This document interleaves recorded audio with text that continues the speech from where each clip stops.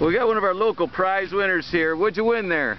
Um, the whole collection from McDonald's and $25 gift ticket. Good stuff. I see you got a brand new bike. Yeah. It's one of the ones that Wade Nelson gave me. Well, pretty much not gave me, but gave me an amazing deal. That's 160 bucks for a $450 bike. good stuff. Uh, what'd you do with your old one? Gave it to my little sister.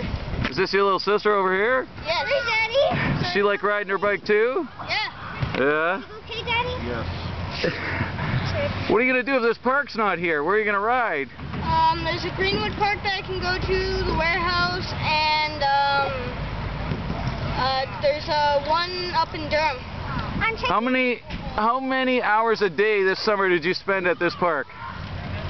Um, when I was with my dad, which is maybe five days a week, oh, how many hours I can put in? Six to like ten hours, Yeah, your dad told me you were over here 12 hours a day. pretty much. Here- you know this guy? Yeah. My Pal Raymond! Fifth place, six place, no matter what!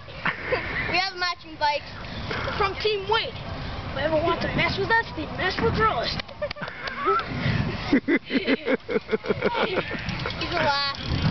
He's a laugh. Tell you the truth, it's a big laugh. well, thanks for enjoying the park, and I uh, hope we uh, can do some stuff uh, together uh, in the future. Yeah. so see these two in the Olympics one day? I can't believe you won, you're a bitch. uh, just because, like, just because I can do better than